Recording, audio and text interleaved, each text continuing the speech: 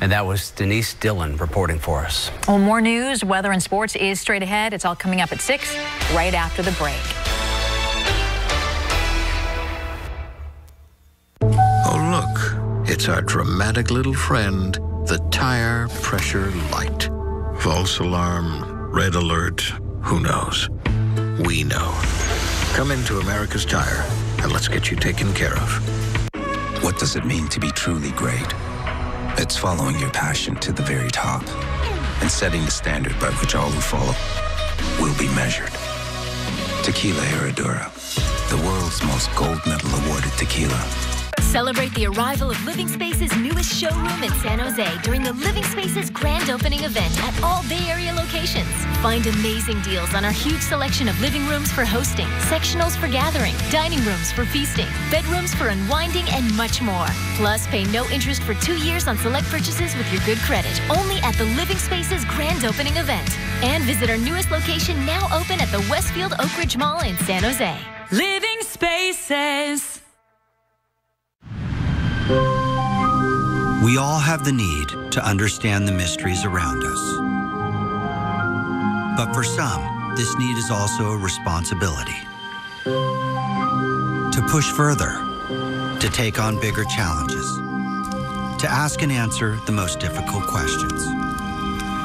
Is it possible to heal a body even before birth? Is it possible to turn back the clock and reverse aging in the brain? Is it possible to eliminate disease from the face of the earth?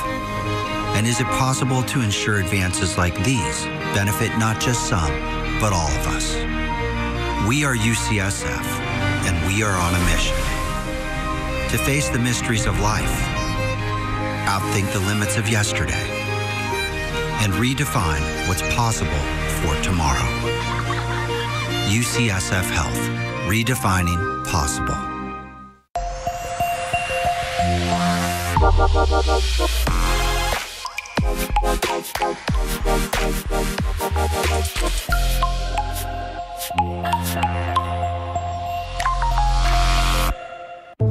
look, it's our dramatic little friend, the tire pressure light. False alarm, red alert, who knows? We know. Come into America's Tire and let's get you taken care of. This is KTVU Fox 2 News at 6. A disturbing attack in the East Bay. Two men shot and wounded by arrows at a homeless encampment in Richmond.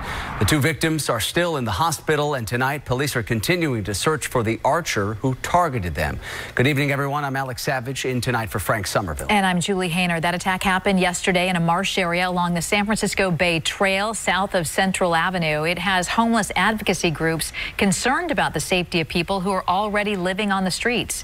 KTVU's Leigh Martinez joins joins us now from the newsroom with more on the story. Leigh. Yes, well, Julie, last night we reported that a suspect was in custody, and unfortunately, that is not the case. While there is a suspect description, police say the archer remains at large, and tonight we're told he'll be facing two attempted homicide charges. Along the